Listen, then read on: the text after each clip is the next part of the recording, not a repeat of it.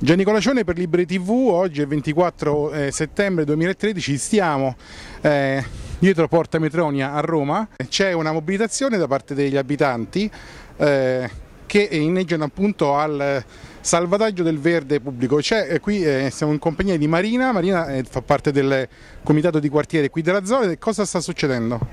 Stiamo protestando perché abbiamo fatto l'accesso agli atti e ai progetti esecutivi della metro C tratta T3 da San Giovanni al Colosseo e abbiamo scoperto che tutto il verde pubblico da San Giovanni a qua a Porta Metronia verrà totalmente distrutto. Perché verrà distrutto? In parte per fare gli scavi, d'accordo, in parte in maniera assolutamente pretestuosa, ad esempio tutto questo filare di platani piantati dopo la guerra verrà distrutto, i giardini verranno cementificati per mettere il cantiere logistico. Abbiamo scoperto questa cosa che metteranno sotto le nostre finestre i generatori aspersori, eh, le macchine per pulire l'olio della talpa. Questo è un giardino adottato dai bambini del quartiere, curato da loro nei fine settimana, piantate le piantine con i loro soldini e l'aiuto dei nostri genitori ovviamente e tutto questo verrà distrutto.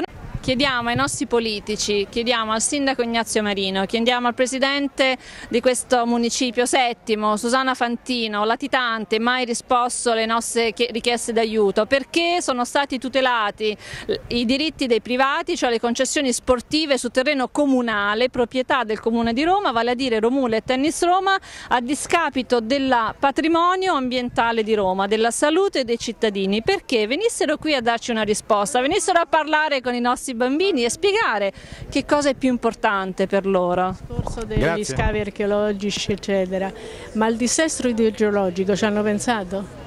Che non a caso i romani hanno fatto Caracalla dove l'hanno costruita, qui ci sono i fiumi sotto, dove vanno?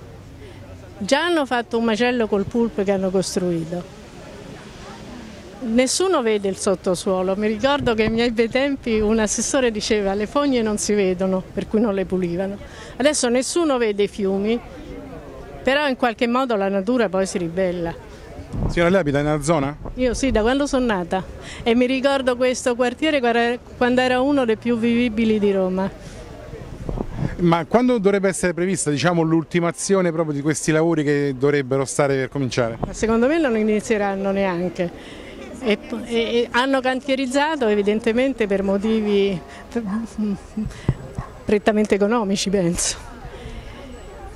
Ci sono tanti altri progetti che forse non creerebbero questo dissesto. Quello che mh, mm, non mi piace è che ci sia iniziata la protesta adesso quando doveva essere iniziata mesi fa. Adesso può essere anche pretestuosa.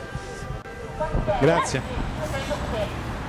Città ad alto traffico per Roma averci delle zone verdi sia di vitale importanza ed è una delle caratteristiche fondamentali che rendono anche molto speciale questa città, perché se andiamo a Milano sicuramente non è così come Roma.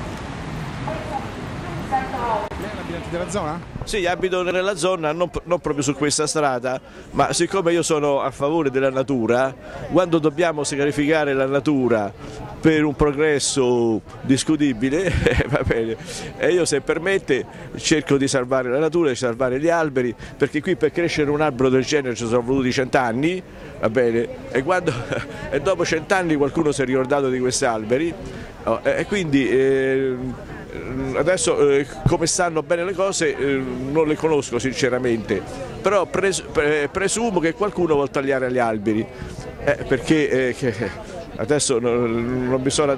Eh, quindi questo non sta bene, non sta bene perché qua già, già, di verde ce n'è poco, sia qui e sia a Roma, e qui mica possiamo vivere una giungla d'asfalto. A un certo punto la metropolitana eh, non, non, penso che eh, non si può ovviare il passaggio da una all'altra parte. Eh, allora io penso che eh, sotto è tutto libero, cioè, sotto c'è tanta strada qui sotto. Io eh, sinceramente l'avrei fatta eh, mettere la stazione dove sta Via Sagno e dove sta il deposito l'ex deposito della Stefer che sembra che l'ha occupato l'Ama ma l'ama... Eh, eh, allora è l'ha occupato l'ama, mi dice la signora, quindi l'ama poteva restare benissimo dove stava prima.